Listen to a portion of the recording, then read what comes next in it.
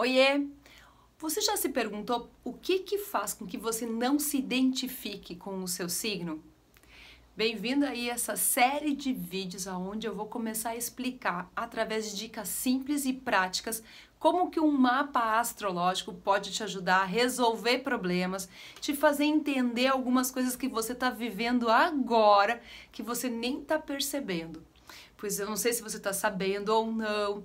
A partir do dia 14 de outubro, nós estamos começando a segunda edição de um curso que normalmente é pago, mas vai ser gratuito para você aqui que estiver comigo ao vivo, que é o impacto astrológico.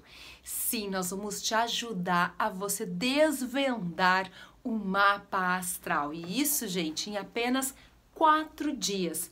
Topa? Aceita?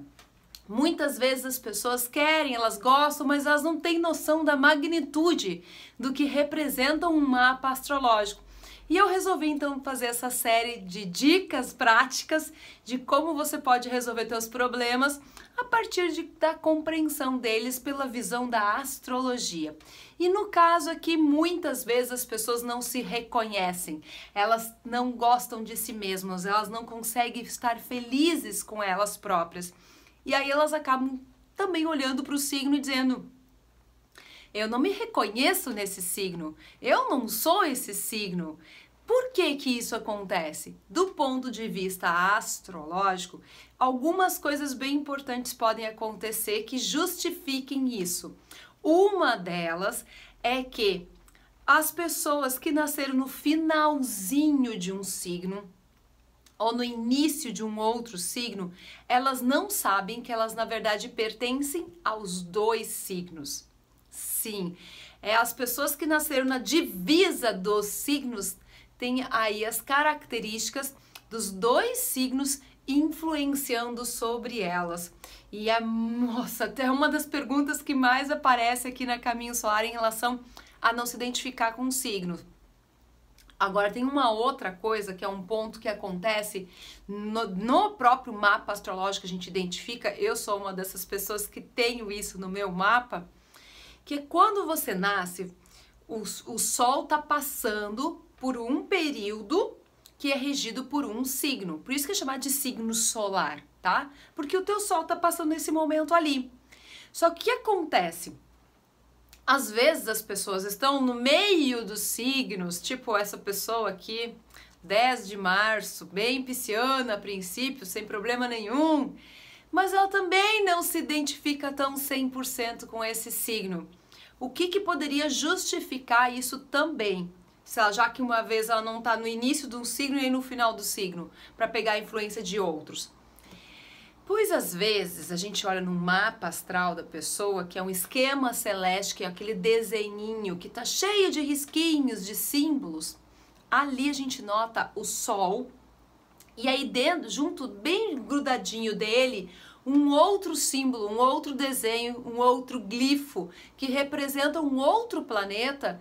E esse planeta, por ele estar tá grudadinho, juntinho dele, isso na astrologia tem um nome chique chamado de conjunção. Por estarem juntinhos em conjunção, eles influenciam uns aos outros na área onde ele está, que é chamada de casa astrológica.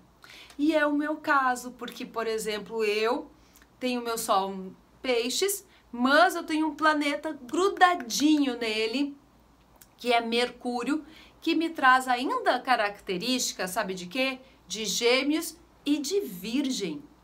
Então a Aline é 33,333% pisciana, 33,333% geminiana, 33,333 virginiana. É assim que funciona a minha cabeça. E detalhe, conforme a gente vai se aproximando dos 28 anos de vida, quando a gente faz 28 anos de vida, a gente completou esses 28 anos de vida. Outra coisa que faz a gente não se identificar então com o nosso signo é esse movimento que acontece em torno de 29 e 29 anos. Então, quando você completou 28 anos de vida, é o primeiro dia seguinte depois do teu aniversário, Na verdade, é o primeiro dia do teu 29 ano de vida. Lembra quando a gente era criancinha, a gente ia naquelas festas de crianças de um aninho, ah, completou um aninho de vida, completou dois aninhos de vida, e a gente depois não conta mais isso, né? Não sei porquê, mas enfim. Então, quando você completou 28 anos de vida, o dia seguinte é o primeiro dia do teu 29 ano de vida, ok? Então você precisa entender que nesse momento um movimento muito forte acontece no teu, no teu mapa astrológico de todos nós. Todo mundo passa por esse movimento que é chamado do famoso retorno de Saturno. Então calcula aí a cada 29 anos um novo salto, um novo salto, uma nova mexida na tua vida. Garanto que você fez os cálculos agora aqui e percebeu que você está no segundo retorno de Saturno. Lá pelos 56 começa a acontecer, no terceiro retorno de Saturno, 84, 85. Agora até me falhou a memória aqui. Afinal de contas, eu não sou muito boa de matemática. Enfim, você faz o cálculo, você acha aí, tá bom? Então, o que, que acontece nesse período? Principalmente no primeiro retorno de Saturno alguns papéis são definidos da astrologia. Então você começa então a entrar muito em campo ascendente, que é como as pessoas te enxergam, como você realmente é visto por elas. Então às vezes a gente tem algumas configurações que só olhando o mapa astral você consegue detectar e elas são tão fortes, mas tão fortes que elas influenciam todo o resto do teu mapa. E é sobre isso que eu vou te ensinar lá no Impacto Astrológico a você interpretar tudo isso. Você vai conseguir sim pegar um mapa astral e vai conseguir detectar isso até em você mesmo. Me diz aí, você é uma dessas pessoas que não se reconhece no signo, que tem dificuldade de se entender que ou nunca parou para pensar por esse viés do que eu tô falando agora, poxa vida, de repente isso explicaria muita coisa. Uma coisa eu te digo, gente, já são praticamente 14 anos atuando nessa área do desenvolvimento pessoal, como astroterapeuta, como terapeuta holística, ministrando cursos, palestras, escrevendo livro, mais um livro saindo logo em seguidinha aí na área da astrologia agora. E eu noto a quantidade de pessoas que acabam, sabe, rechaçando a astrologia, não percebendo a importância e o quanto que ela é forte, para não dizer um palavrão aqui, que eu é pi, porque elas não se identificam com seus signos. Só que aí elas começam a entender que de repente ela não é só aquele signo, muito pelo contrário, ela tem uma congruência, às vezes, de planetas todos juntinhos. Assim como eu tenho o meu Sol juntinho com Mercúrio, eu tenho visto cada vez mais uma quantidade gigante de pessoas que estão aí, não com um planeta ao redor do Sol, mas vários.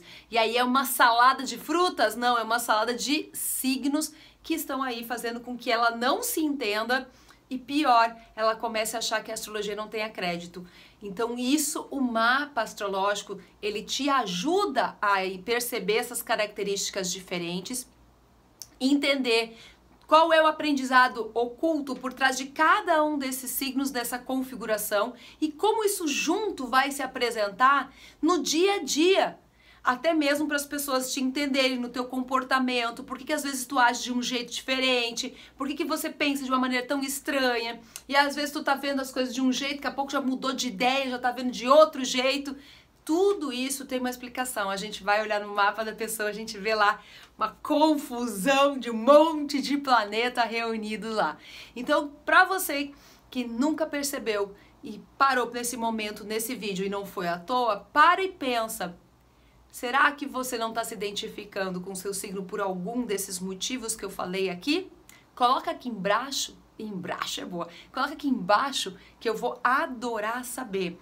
E, em especial, eu vou deixar aqui embaixo o link para você se inscrever para esse curso que normalmente é pago, mas vai ser 100% gratuito para você, que é o Impacto Astrológico. E lembra, você vai precisar do teu esquema celeste para poder participar 100% de toda a aula. E para você conseguir teu esquema celeste, que é aquele desenhinho com um monte de símbolos que tem ali, Para você conseguir, você tem dois caminhos. O primeiro caminho é você buscar sites da área gratuitos que te forneçam isso. Eu gosto muito e utilizo e vou usar justamente nesse curso online, o do vegaplus.com.br, que eu gosto demais.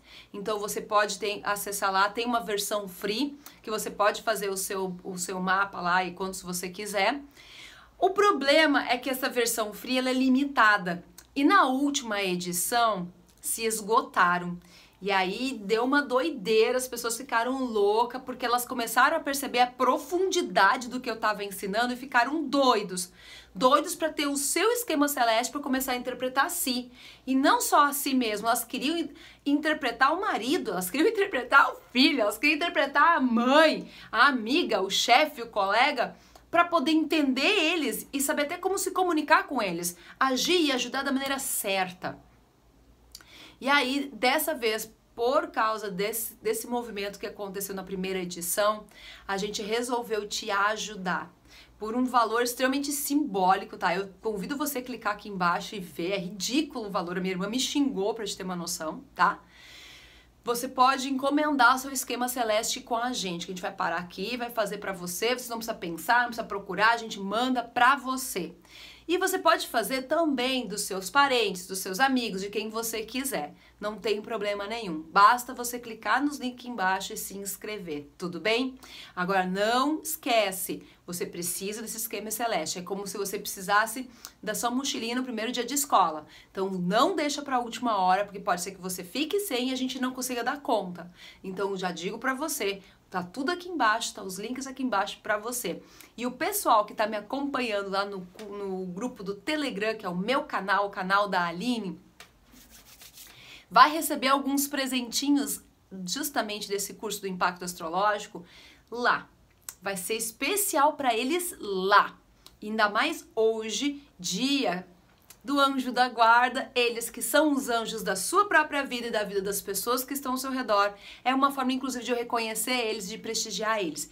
E se você ainda não está participando do meu canal do Telegram, aqui embaixo tem o link, é gratuito. O que, que você está esperando? Vai lá e não fica de fora de absolutamente nada.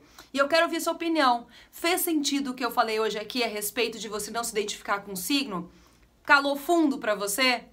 Lembrou de alguém que já viu falando sobre isso? Compartilha, leva essa mensagem adiante. Se você está chegando no canal agora, seja muito bem-vindo. Aqui nós trazemos temas e conteúdos que devolvem o seu brilho no olhar, te ajudam a resolver os problemas da tua vida através do autoconhecimento vindo ou da astrologia, ou dos acordos espirituais, ou dos relacionamentos, enfim, várias técnicas que eu trabalho aqui para te ajudar a voltar a ser você mesmo, quem nasceu para ser, tá bom? Um beijo enorme para você. Nos encontramos no nosso próximo vídeo. Amanhã vai ter mais dicas aí, práticas, justamente do mapa astrológico no dia a dia para resolver e fazer você entender os seus problemas. Até lá. Tchau, tchau.